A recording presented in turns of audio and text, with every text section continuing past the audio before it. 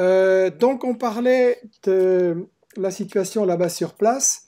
Et donc, euh, comment ça se passe au niveau euh, de la situation là où vous êtes maintenant? Bah, Déjà, il faut.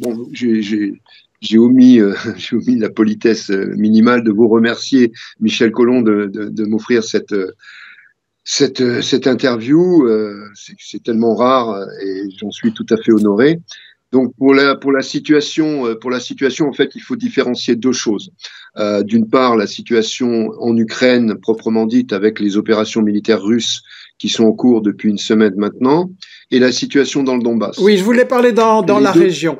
Si vous voulez bien, on va passer une ou deux petites vidéos que vous m'avez envoyées en préparant euh, cette émission. Et euh, notamment ici, on a une image avec des bombardements.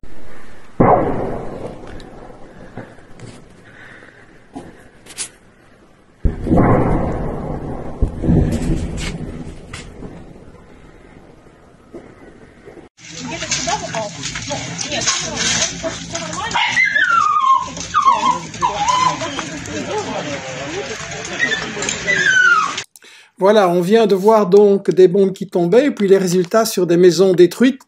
Euh, est-ce que vous pouvez nous dire qu'est-ce qui se passe? Parce que, en fait, euh, ce qu'on nous dit, nous, ici, c'est que la guerre a commencé avec les attaques de Poutine. Oui, alors en fait, ça, ça c'est euh, un mensonge.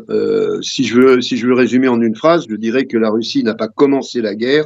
La Russie a engagé des opérations militaires pour terminer une guerre pour terminer une guerre qui a commencé en 2014 euh, à l'initiative de l'Ukraine contre une de ses populations à l'est du pays qui refusait tout simplement son ostracisation identitaire. Donc euh, les bombardements euh, ici, on les vit quotidiennement depuis huit ans. c'est difficile à expliquer parce que les gens ont du mal à imaginer peut-être mieux aujourd'hui avec la guerre en Ukraine, mais on a eu une très forte crise militaire en 2014